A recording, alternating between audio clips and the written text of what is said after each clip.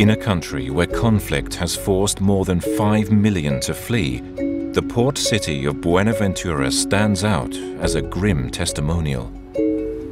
The city is one of Colombia's most violent, with a staggering poverty rate of more than 60% and the largest number of people uprooted by violence. La impunidad lo único que hace es reforzar la misma violencia, reforzar la misma criminalidad.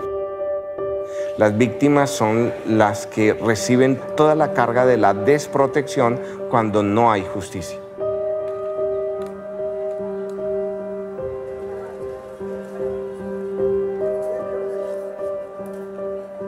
It's become a battleground for armed groups who intimidate, forcibly displace, or kill those who get in their way. The level of intimidation and brutality is almost unspeakable. The community lives in a constant state of fear. Each day, the list of victims continues to grow. Trapped in a ghastly web of violence and exploitation, women and children pay the highest price. With the threat of child recruitment and sexual abuse a daily reality.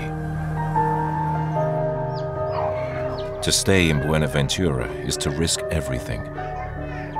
And fleeing doesn't always guarantee an escape from the violence.